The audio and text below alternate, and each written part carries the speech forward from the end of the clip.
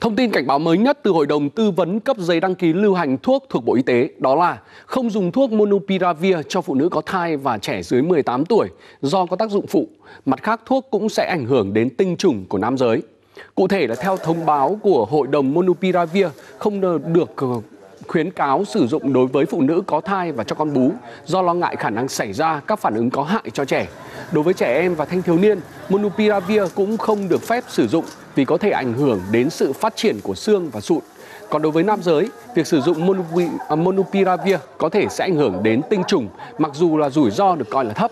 Vì vậy, nam giới sử dụng Monupiravir nên sử dụng một phương pháp tránh thai tin cậy trong thời gian điều trị và ít nhất là 3 tháng sau liều Monupiravir cuối cùng.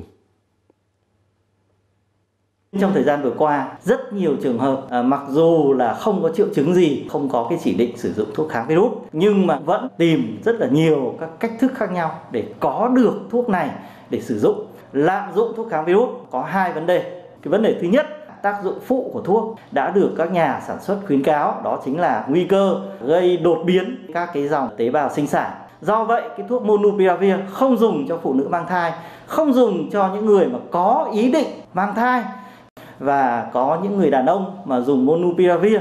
Sau đó làm cho vợ, làm cho bạn tình có thai thì cái vấn đề cũng rất là rắc rối. Và khi mà sinh ra cháu bé mà có những bất thường về mặt di truyền ờ, rồi sau đó là gánh nặng cho cả một cái cuộc đời, cho cả một cái thế hệ sau này. Vấn đề thứ hai là monupiravir chuyển hóa trên gan mà có ảnh hưởng không tốt cho gan. Cho nên là nếu như mà lạm dụng monupiravir, có thể dẫn đến các cái tình trạng viêm gan nhiễm độc ờ, ngộ độc gan, suy gan. Chính vì là loại thuốc cần có chỉ định của bác sĩ nếu không muốn có tác dụng phụ ngoài mong muốn, nên hiện nay thuốc Monupiravir mới chỉ được sử dụng trong chương trình thí điểm điều trị có kiểm soát cho các trường hợp mắc COVID-19 thể nhẹ do Bộ Y tế triển khai. Tuyệt đối không được bán trên thị trường. Thế nhưng thực tế thì việc giao bán trên mạng rồi giao dịch chui loại thuốc này vẫn đang diễn ra. Cái này là thuốc đặc trị Covid của Bộ Y tế cái này là bữa em bị f á mà em có lên trên phường á là phường đưa lại trên uh, y tế phường á thì y tế phường đưa cho cái này là uống 5 ngày là khỏi và bây giờ em không dùng tới nữa cái này là giá bao nhiêu tiền em 15 triệu một hộp nhiều người thậm chí không mắc bệnh vẫn muốn mua để dự trữ bất chấp chất lượng và giá thuốc Tôi cũng đang uh, kiếm ở trên mạng xã hội để mà tôi mua những cái thuốc để dự phòng cho gia đình. Cho dù tôi biết đó là rất là mắc. Bây giờ thuốc trên mạng thì không biết cái nào thật cái nào giả. Hoặc là Favipiravir đều là những loại thuốc mà chưa được Bộ Y tế cấp phép lưu hành. Như vậy việc mà lưu hành những cái sản phẩm à, đối với những sản phẩm trên cái hệ thống không gian mạng hoặc là bên thị trường à, mua bán với nhau đều là bất hợp pháp. Có bệnh thì vái tứ phương, đó là tâm lý chung của nhiều người và có cầu thì ắt có cung. Như là tại thành phố Đà Nẵng mới đây, cơ quan chức năng đã phát hiện cả trường hợp một người phụ nữ bán cháo, không có chuyên môn gì về y tế hay là dược phẩm, cũng trở thành đầu mối bán thuốc chữa COVID-19 không rõ nguồn gốc. Trước đó, Công an quận Liên Triểu, thành phố Đà Nẵng nhận tin báo về việc người phụ nữ này bán hàng ăn uống trên đường Âu Cơ, đã quảng cáo thuốc chữa COVID-19 cho cả người lớn và trẻ em với giá là 300.000 đồng một hộp.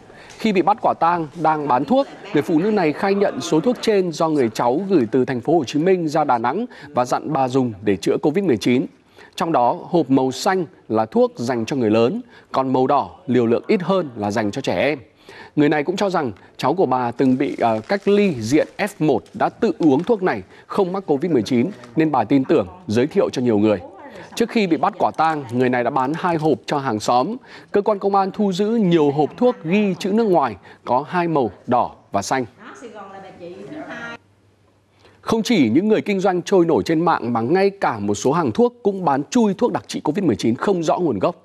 Chưa nói đến chất lượng của số thuốc này, chỉ riêng chuyện tự mua, tự dùng không theo chỉ định của bác sĩ, không theo đặc điểm sức khỏe và cơ địa của mình cũng đã là mối nguy khiến cho người mua có thể tiền mất tật mang.